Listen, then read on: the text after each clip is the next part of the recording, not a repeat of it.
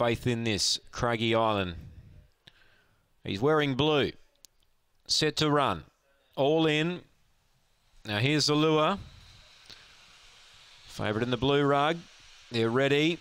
Racing, Craigie Island jumped brilliantly, went straight over to the rail to lead by three lengths early. Aston Thunder second, deep out straight blaze, three lengths away to Magic Aussie and Halo Lad. Craigie Island led by three, make it four. Aston Thunder tries to stick, he's trying to pick up and chase the leader down, then straight blaze. Craigie Island still three clear. Aston Thunder's trying really hard, but Craigie Island does enough. Aston Thunder certainly took ground off it late.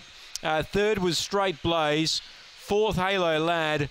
And last in Magic Aussie. And the time, it looks to be pretty hot. It's around the 25-20 mark. 25-19. 25-19, Craigie Island. He was getting a bit weary late. But the job was done. Aston Thunder, to his credit, certainly did take ground off him. And number eight, Straight Blaze, was a distant third. 25-19. It's a good run. Craigie Island. Trained by Ray Fewings, a length the winning margin by three and three quarters. Four, two, eight, and five. Other numbers hereafter. Race number three.